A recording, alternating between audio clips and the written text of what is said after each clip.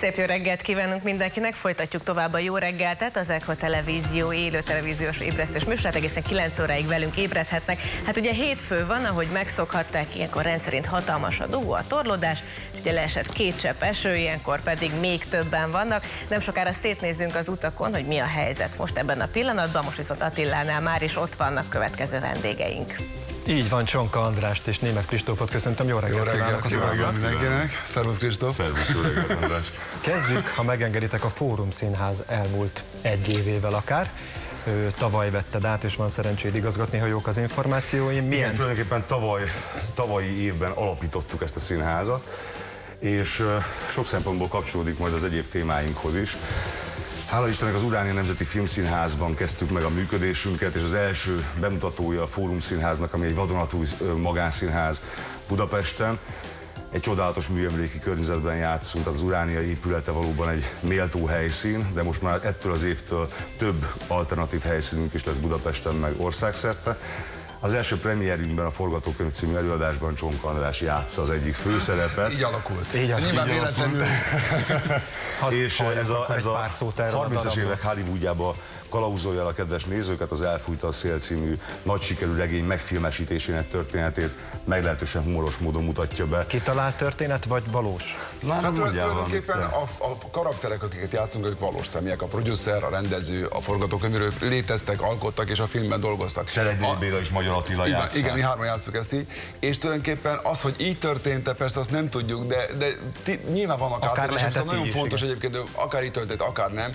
A darab közben a néző nem csak szórakozik a, ezen, a, ezen a sztorin, hogy akkor bezárnak valakit egy irodába, és akkor meg kell írni a, a, a forgatókönyvet, hanem közben valós információkat kap a film igazi sorsáról, meg történéséről a Ami háttérben. egyébként meglehetősen Itt, kalandos. Igen, az egy ilyen külön elválaszt, egy kivetítés formájában, egy led, led, ledfal, elegáns, látványos ledfalon történik mindez. Tehát lényeg az, hogy a, a néz, ez egy ismeretterjesztés is, amellett, hogy, hogy egy szórakoztató előadás. És Szente Vajtnak az ötlete volt, aki rendezte tulajdonképpen. Mondom, 30-as évek Hollywoodja egy filmkészítés. A történet szerint uh, David O. Zelznick producer bezárja az irodájába a film forgatókönyvíróját és a rendezőjét, hogy addig nem engedik ki őket, ameddig a forgatókönyv meg nem születik. És ez egy meglehetősen vicces történet, miközben eljátszák ők tulajdonképpen az egész elfújta a szelet, tehát asszonyokat, férfiakat, gyerekeket és felnőtteket, háborút, éjszakot és délt, mindent megjelenítenek, egy fantasztikus előadás. A másik, amit nemrégében mutattunk be, ez a hűtlenség áramben Pikali Gerdával és Nagy Sándorra játszhatom én is együtt. Ez egy krimi, egy krimi vígjáték, de egy, de egy kőkemény történet, egy 20. házassági évforduló napján történik, ahol egy jó módban élő házaspár férfi tagja úgy dönt, hogy ő megelégelte ezt a házasságot, és egy bérgyilkos küld a saját feleségére. Mire hazaérkezik, apró figyelmesség gyanánt. Apró figyelme, hát ez egy, ez egy kedves gesztus. És mire hazaérkezik, arra számít, hogy ő már egyedül fog élni ebben a gazdagságban, de nem így történik, és hogy mi történik, mi történt előtte, hogyan fordulnak meg itt, a, itt a, az előviszonyok, milyen kalandos hazugságok, és, és aztán megoldás születik, az kiderül az előadásból, a hűtlenség ára, ezt is játszuk folyamatosan, és készülünk egy Neil Simon bemutatóra a következő esztendőben, ez pedig, hogyha jó Isten is engedi, és az én drága kollégáim töretlen erővel vannak mellettem, akkor pedig egy Neil Simon klasszikust fogunk bemutatni a következő évben, ez pedig a Napsugár fiúk című előadás, ami két színész óriásról szól. Úgyhogy a Fórum Színházba várunk mindenkit nagyon sok szeretettel az Urániában is, és a többi, többi helyszínünkre is így van.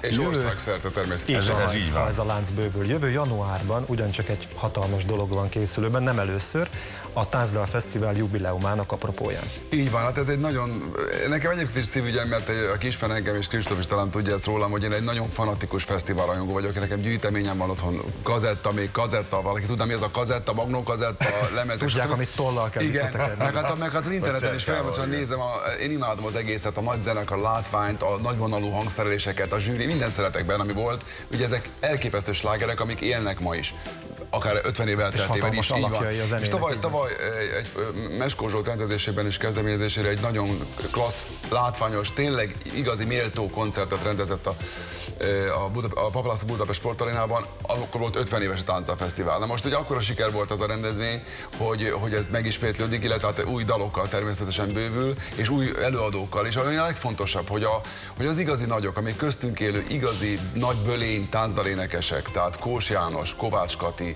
Por Péter, Soltész Rezső, Dobos Attila, ott lesznek velünk mind. És ott lesznek a fiatalabb generáció kiválóságai, mint Tóth Vera, Bastag Tamás, nem is tudom felsorolni, Uri Enikő, és szerencsés sem vagyok, hogy én is. Tehát ez egy fanta, tényleg igaz, nagy zenekarral, nagyon látványosan, hihetetlen, olyan slágerek, aminek, amit senkinek nem kell majd bemutatni, mert ugye mondom, 40-50 év elteltével is a fiatal generációs minden szót tud belőle, és minden hangjegyet tud belőle, mert ezek voltak az igaz értékes dolgok. Az kiderült, hogy nem unatkoztok, rengeteget dolgoztok, de Hogy ez a emellett műfaj, még... csak azt szeretném hogy ez örökre él ez a műfaj. Igen. Olyan annyira tényleg, mi magunk, ugye, ezt talán nagyon jól tudod, hogy rendszeres hallgatói vagyunk a te magad feldolgozásainak is, hiszen Hát igen. te is énekelsz. De hát ezek is fesztivál dalokkal dolgoztam. Ezt mondom, igen. és Lóci film, aki 11 éves, gyakorlatilag csonka bandit dalol. Szegény. De rettetően ke- kellemetlen nekem. Micsoda de hát, hát ez, ez, ez, így van. Csak arra akartam kiukadni az imént, hogy még a jótékonykodásra is marad időtök, energiátok, és főleg figyelmetek.